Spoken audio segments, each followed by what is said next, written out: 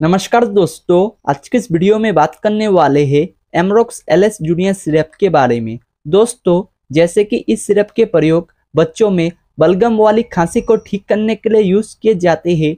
आइए अधिक विस्तार से जानते हैं कौन कौन सा कंडीशनों में आप अपने बच्चों को इस Amrox L S junior syrup को दे पाएँगे।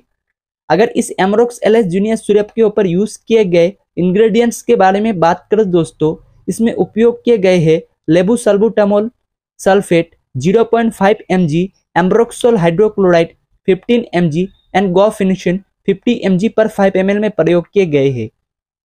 दोस्तों, इसे Lifort health care limited company द्वारा मैन्युफैक्चरिंग किए जाते हैं। अगर इसके मार्केट प्राइस के बारे में बात करें तो दोस्तों 60 ml की बॉटल पैकिंग में आपको देखने को मिल जाएँगे, जिसका M R P seventy five rupees है।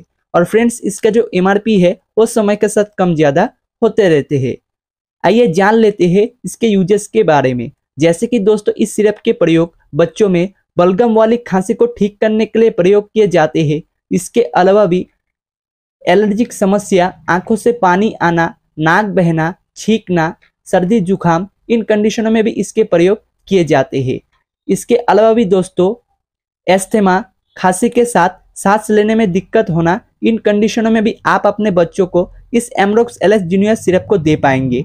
अगर इसके डोसेज के बारे में बात करें दोस्तों, बच्चों के वज़न और एज के ऊपर इसके डोसेज निर्भर करते हैं।